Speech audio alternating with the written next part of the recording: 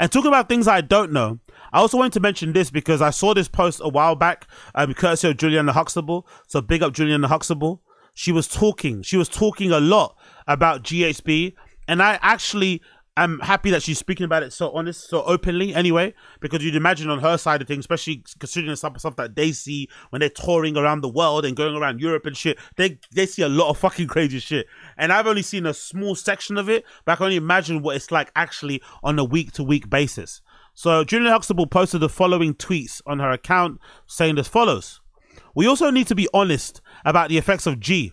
This false narrative that it somehow has no side effects is not true. Getting off can be very intense if you have dependency because of withdrawals. Certain substances are difficult to moderate, and this seems the case with GHB. My only experience with GHB personally, well, I've had two experiences with GHB. Number one is first getting introduced to it. This happened to be also in Berghain.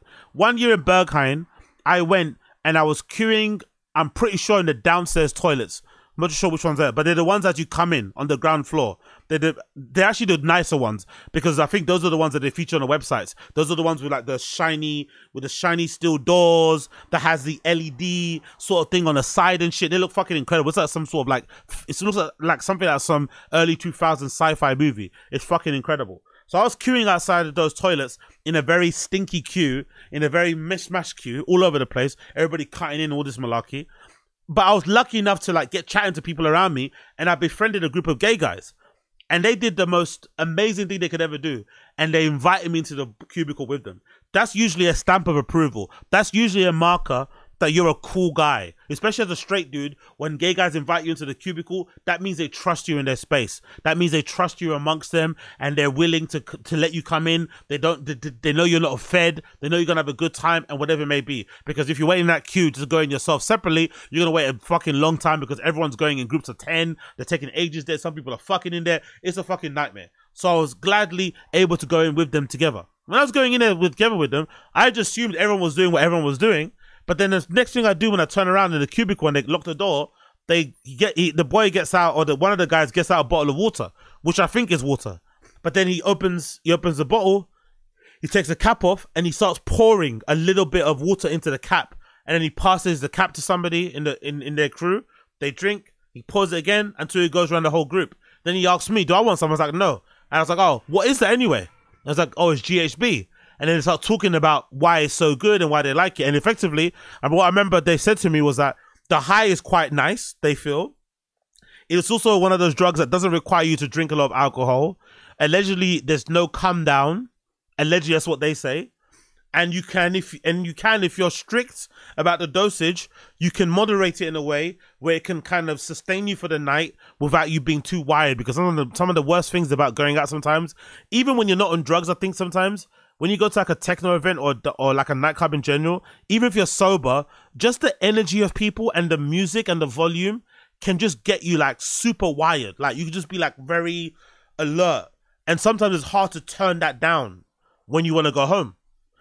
So what they said about GHB is that it gives you like a moderate high, but it's never really like ratty. It's never like right on the edge. You're kind of like nicely high, so that if you decide to go home in an hour, you can slowly wind the night down without kind of like still being up at like 4 a.m. and your jaw clenching and shit. So that's when I heard the good side, the quote unquote good side of it.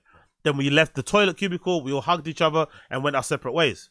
Then the second time I saw GHB being used, that was a bad time. That again was Boiler Room. Sorry, that again was Berghain. And that actually was the famous night that I kind of bumped into Juliana Huxtable and, you know, didn't have the best interaction, but it is what it is. That things happen.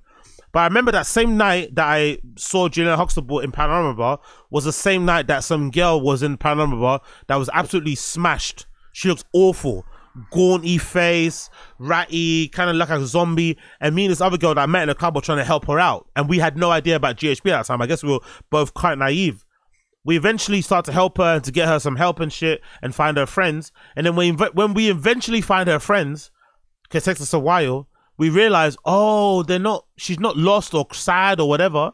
She's just really fucked up on GHB because the friend looked equally as zombified. And as soon as we handed them off to the friends, they kind of disappeared and scurried away like cockroaches. We never saw them again. And I remember thinking, man, that's a really horrible thing to see. And of course, as we were going back upstairs to kind of party again at Panorama I remember seeing a girl who looked like she'd been fucked off G getting chucked out. And I remember reading later on in the in the in, you know in Reddits and stuff and forums and and you know comments that in places like Berlin specifically, not sure if the same in London, but in Berlin specifically, they're very nervous and very worried about GHB. A lot of the clubs there ban it. They have signs where they ban it and shit, but people still do it. But they also have a zero tolerance policy. If they find out you're fucked off, but if they find out you are fucked up of GHB in some Berlin clubs, they'll chuck you out, no questions asked. Like, just go out. Don't care what condition you're in. No, you don't do that shit in here. So it can be very very, very lethal and very, very scary. But again, there's all this law, as, Juliana Huxtable mentioned, there's all this law, all this, you know, false stories about it being quote unquote safer than most drugs. It's quote unquote relatively cheap than certain drugs. You don't need to take it with booze. It's good come down. So I think people are kind of enticed by it. But I've seen so many negative stories around it. I'm just, I'm just, you know, I'll stay away. I'd rather stay away from that sort of stuff. And clearly, in places like Berlin, it's absolutely ravaging the scene. It's tearing through the scene. People are getting super addicted to it. It's turning people into nasty people. People are losing friends, jobs, all these sort of things. That drug is destroying people. And I've heard of people actually going to like afters, you know, and again, Berlin's one of those places where people are partying from Friday to Monday anyway. But I've heard because of GHB, it's stretching these afters so like Wednesdays and Thursdays. You know, people are going hard. Um, next slide. Um, a person replied to what Juliana Huxtable said and said, yeah, one of the reasons why I stopped partying in Berlin is because people are just not looking out for each other over there. Enjoying is part of going out. But why do I have to drag somebody collapse out of a random dark room after nobody reacted to the lifeless body on the floor for an eternity? I've seen that. I've seen random people on the floor, passed out on the bench, and people are literally just walking over them. literally just stepping over them on their way out somewhere else. Like, it's not my problem and shit. And usually, most of the time, from my experience, it's usually too much G or too much kit. Those things can just get you in a spiral, and by the time you realize, it's a bit too late. And then Juliana Huxtable realize, um, replies and says, "When I threw a party here, uh, I guess you mentioned, I guess that means Berlin, with a cis, someone was in the green room, non-responsive and I was the only one who thought it was emergency. And I don't care if the likelihood of them dying is slim. I cannot erode my capacity for care by ignoring someone unconscious, opposite of community. Exactly. Exactly. And I'm the same. I remember that there was some guy that I was standing next to. No, I was standing next to this guy's girlfriend and he kind of collapsed in fabric and we all kind of got him some help. But I remember like the lack of action and the lack of response people around was kind of startling. Don't get me wrong. I guess if you go to nightclubs enough of the times, you're to find enough people who are going to get fucked up. And sometimes reacting shocked and scared all the time can be a waste of an emotion, can be a waste of fucking energy.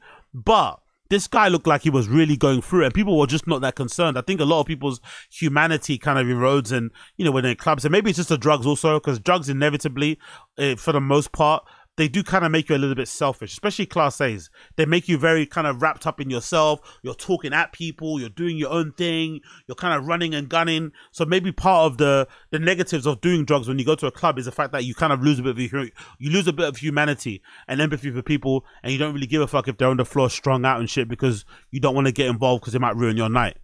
Another another tweet, Coach Juliana Huxtable. I had a dangerous combo of anorexia, extreme al- alcoholism, and bundle addiction until I was 25, 26. I would black out and become non-responsive until somebody brought food and water. My friends called me out one night when they were about to call an ambulance because people thought I was dead. My friends were crying. It was really intense. I woke up thinking, LOL, I did a thing I do when I black out. But the response to my of my friends got me together, or at least started to. But it's different with alcohol with people. It's diff, but it's different with alcohol because people treat alcoholism normal. Exactly. That's a very good point. There's a lot of people out there that have proper addictions, that are proper suffering, but because it's alcohol and everyone kind of drinks, people kind of turn a blind eye to it. But then when it comes to the harder drugs, everyone's got kind of something to say, which I can understand why some people that do the harder drugs will sometimes hide their usage because they don't want to be called out and they hate that feeling of like kind of being like you know always sort of like called out and seen that way and they'll just do it in, in secret and of course doing it in secret can lead to other issues because then there's no one to kind of like you know check in and make sure you're okay because you're doing on your own by yourself in your house somewhere you're not telling your friends and you're trying to keep it under wraps but then you might put yourself in danger so it's a fucking crazy crazy spiral next one i'm praying that the g Uh, da, da, da, I think was that yeah. I'm paying that. I'm praying that the G rage gets under control. Sissies are passing out, and it worries me. Icons count icons, which I which I love. Whatever, it's a good point to make. I'm praying that G the G rage gets under control. Sissies are passing out, and it worries me. Icons can't be given this. That's the major thing. That's the major thing. Icons can't be given this. If you actually are in this for the love of the game, you're here to fucking create memories. You're here to leave a lasting legacy. You have something to say. You have something to share with the world. You can't be giving somebody that's not in control of your vices, that's not in control of your addictions, that's letting yourself go and get fucking crazy and just kind of losing it all and then not being around to give people the art that you are so blessed, you know, to have and to kind of share with people.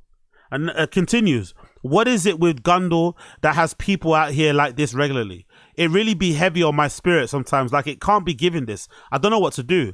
If this is causing this many people to reach the point of psychologically shutdown, oh no, sorry, if this is causing this many people to reach the point of physiological shutdown, there is body slash emotional dissonance that forms when it happens again and again, and it sets a dangerous precedent for care of self and others. It's too many people I love that are out here right now, so to not to speak up. Another person says, I struggle to talk to friends and loved ones about this without coming off as judgy and risking them concealing their use from me. We've already tried banning G in various contexts. It didn't work. Yeah, the banning thing doesn't work at all. This person is completely right. The banning thing doesn't work. People are always going to get those stuff in. They're always going to figure out a way to make it happen. But I do wonder, like, if you have friends that have an addiction, like, what do you do really? Because that is the danger in it. If you kind of, if you kind of like straight up ask your friend if they've got a problem, if you try and confront it, more than likely it's not going to end well. More than likely it doesn't end well. They're going to probably shut down. They might completely cut you off or cut you out of their life. And then what?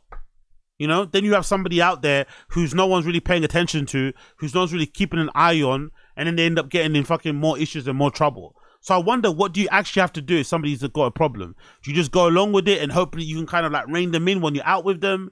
Do you try to like approach it in a different way and take them out somewhere and then kind of broach the topic? Like, how do you even approach it? Like, it must be so hard to kind of deal with. It must be actually just as bad to deal with yourself when you're going through the addiction and you're going through that pain of trying to kind of keep your vices in control but overtaking your life. It's probably as painful for you as it is for your friends to watch you kind of deteriorate over time and then feel helpless that they can't really, you know, help you and get you all fixed up and shit. And sometimes you have to let people just play out the way it plays out. And sometimes when it plays out the way it plays out, it could end fatally. So I guess your friends have to just take that chance and hope that you will forgive them in time. I hope so. It continues, and that's about it. Yeah, that's it. So big up um, Juliana Huxtable for sharing that and being honest about it because I think these conversations are needed, especially within the dance music scene, especially within the blood dance music scene. But again,